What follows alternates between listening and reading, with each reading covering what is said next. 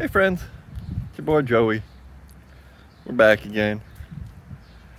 Today we are going to attempt to fix that broken transmission line. We went and got more of these. If you've been watching my videos for a while, you know this is the same manufacturer company I use to do the fuel lines on the green truck. And I will find that box. These are way bigger. Fittings. So I think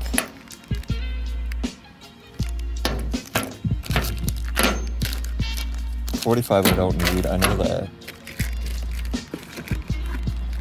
I forgot which one of these I need. I hope these are the right ones because there's one other option, but they were way more expensive. And here's the line. Way bigger than the old stuff.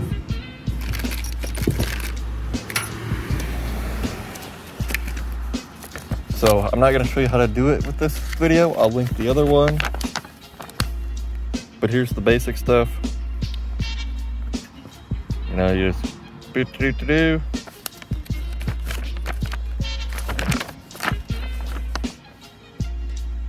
Do do do do do. Nice pictures, nice instructions.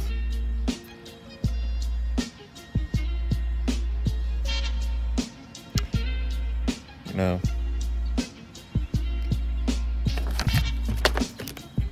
pretty easy. So what I'm gonna do, since I don't have that front skid plate on anymore, I don't have to worry about that. But I will take this bad boy off, which these things, I don't like them. I do have special pliers.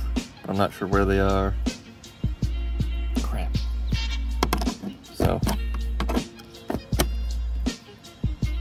catch you back later. Okay, so what we're replacing on the truck now, it will be this line here. We'll take this threaded piece out, replace it with the new one. And then if we come over here, on the radiator, should be this top one here. There is another one way down there somewhere, but this is the one we need to do. So, I'm gonna get working on that. Ouch. The way to disconnect the lines though you just gotta pop this little clip out.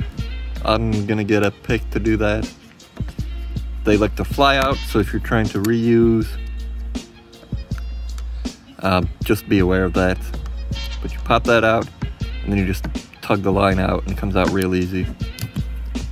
It's a nice quick disconnect system. I'm not gonna have to save those, so I don't have to worry. I do have a bunch sitting in the garage somewhere. I lost a bunch of them last year with the transmission on the old truck. So yeah, we'll see what's up. We're gonna get to work on this. Okay, here's what that little clip looks like. So that'll just go over there. I'll show you how this pops out. Oh yeah, I did end up taking out the intake air filter assembly so I get more room. And now, uh, you should be able to see, and here's where the transmission line comes out on the bottom. I will tell you now, if you take both of these out, the piece that's in here for the transmission cooler will drop and I hear it's near impossible to get out. So let's try this.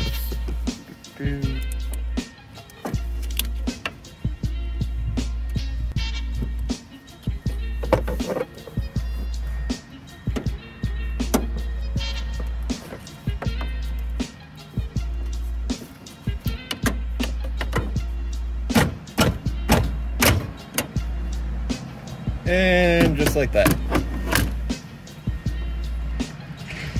Popped off. We're also gonna pull the grill out to make this easier. And there, now you can really see that I'm working with this. It's just a cover that holds that little clip on there better. So, um, yeah, let's, I gotta find my side cutters as well, electrical cutters to cut this big zip tie.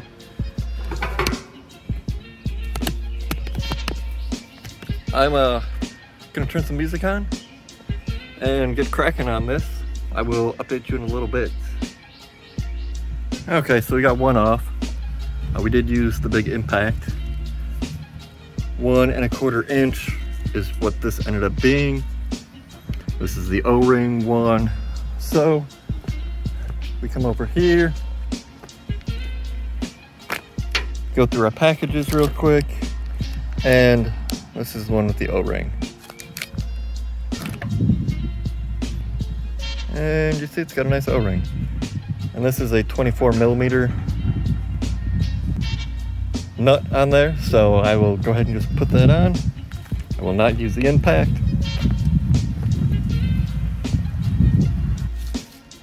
I did forget one thing. Make sure you lubricate the O-ring. You don't want that ripping or tearing on you. I... Going on there?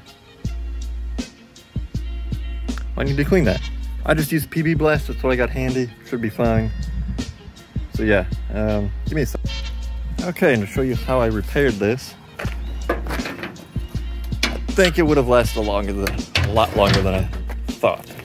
But, you can see here, this just ripped and was falling apart. And then there's a hole somewhere that I cut out that went all the way through. And I just used this plastic for heater hose repair, and a couple of clamps. These weren't heavy duty clamps, so I didn't trust it. But got me home, got me to work, got me around. Worked out pretty darn good for me. So don't know what I'm gonna do with that for now. Just gonna sit there. And I put the black gloves on because this is transmission fluid. And I'm tired of just having really gross hands from working on cars. So yeah.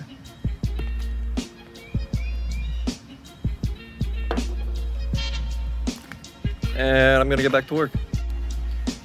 Okay, quick thing. You wanna make sure you cut these as straight as possible. Because you'll see there's a little space there. Turn it around and you'll see there's no space.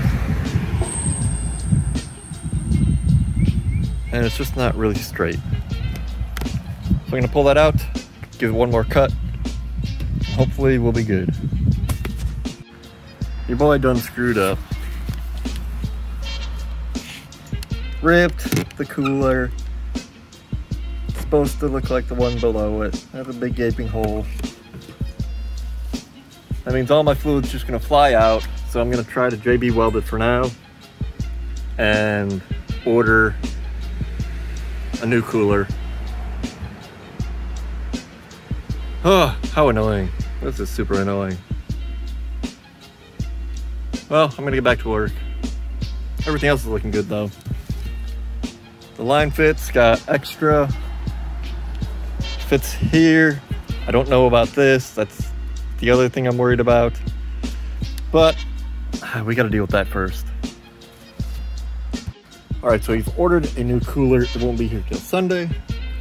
And as you can tell by the wetness, my first go round with the JB Weld has not gone well. So we're setting up a bigger batch, bigger batch. And I said, let it sit for 15 minutes. It'll harden up a little bit. But if you look, you can see, ah, if it'll focus blew right through right there, but the sides look okay. I didn't let it harden the full time either. So we're gonna slather a whole bunch more on there. And hopefully this will hold until I get the new one on Sunday so I can go to work. Saturday and Sunday.